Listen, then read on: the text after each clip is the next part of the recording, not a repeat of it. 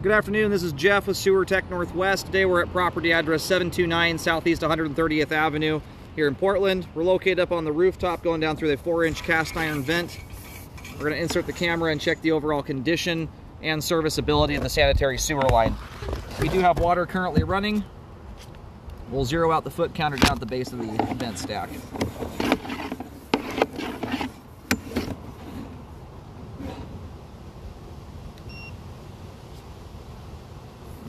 We go here.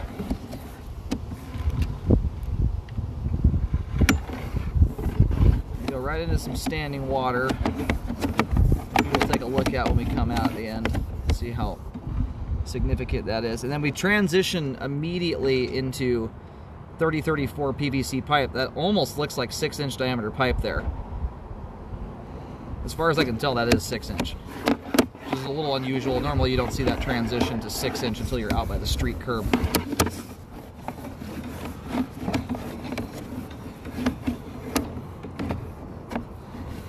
Now that bigger six inch pipe has a bit more leeway to it. It's less, a little less prone to, to blocking.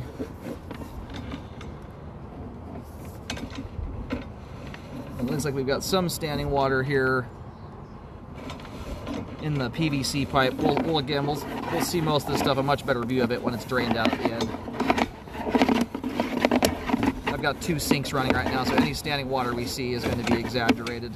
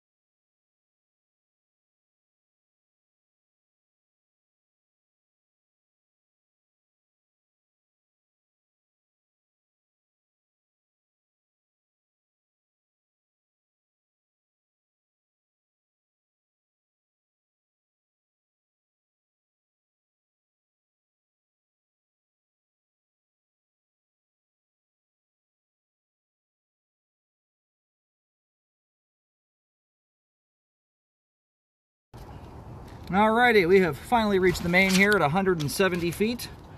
We're gonna try and go locate that while the line drains out. We'll get a better view of everything as we come back. The line certainly functions. We got a couple areas to look out that had standing water in on the way out, but it is a functioning line. My biggest concern is the standing water we saw in the cast iron right out of the gate. There appeared to be quite a bit there, but we shall see here in a moment. Right, located the camera head successfully. The line terminates at the main out on Southeast 30th. The line looks like it's wrapping around. It looks appears to go out the rear of the home and then wrap around the left side of the house. So almost the, the majority of the line is underneath the driveway. It looks like it's doing a straight shot. Once it rounds the, the back right or back left corner, just goes straight up the driveway. In fact, you can see the patch in the, the driveway skirt right before the street. There's a nice patch right there. That is right where your sewer line runs.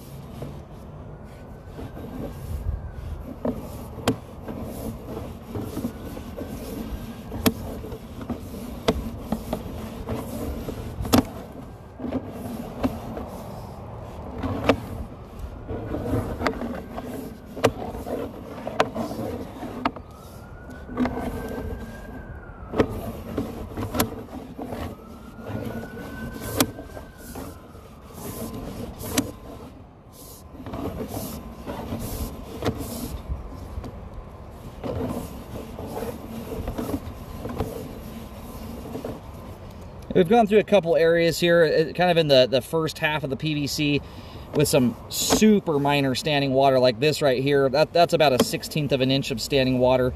I don't even consider repairs on bellies and plastic pipe until there's at least an inch or more for 5 to 10 feet, but with significant buildup on top of that. Those things right there, not that they couldn't feasibly cause a problem, but if you're blocking up in one of those and backing up, it is 100% because of what went down the sewer line, not the belly.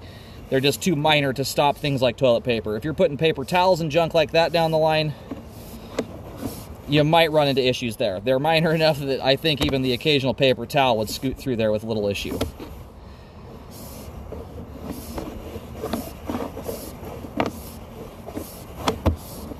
Now for a 170 foot long sewer line, I mean, I, am I'm, I'm actually impressed with how little standing water is in it. At least the updated part. The, the cast iron in the beginning was a little bit different story. As far as I can tell here, you know, that might still be, that might actually be four inch pipe. I think it may just be the angle we drop into it. There's a spot out, I don't know if you saw, around 145, 50 feet, my camera kept getting caught when I tried to pull back. That may actually be the six inch transition. When you're looking at old versus new pipe materials meeting up to each other, um, I think this may actually just be four inch pipe there. It's just the way that, that we come into it looks different than that. This belly here, however, this is one that I am concerned about. One, it's in old rough cast iron. You couple that with an inch plus worth of standing water, and it, it's a it's a recipe that is much much more prone to clogging than the same standing water in, in smooth plastic pipe. That water is going to slow things down. Then you have rough pipe walls that can grip and hang on the debris and not let it break loose as easily as plastic. So it's an area that's more prone to clogging. Though again, the line's still functioning, uh, but that's a spot there I would actually like to see repaired. If repairs aren't done, just do things. Don't don't ball your toilet paper up. Fold it when you flush it.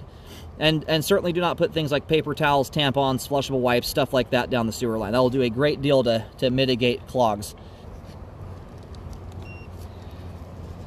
All right, so I marked this out back. Again, the line does exit the rear, and I think the clean out has been decked over. There's a clean out access around 20 feet into the line, and I believe it's been decked over at this point. But from this point here, this is probably four feet outside the foundation or at two feet deep here. I recommend the cast iron from the base of the vent stack to eight feet be updated.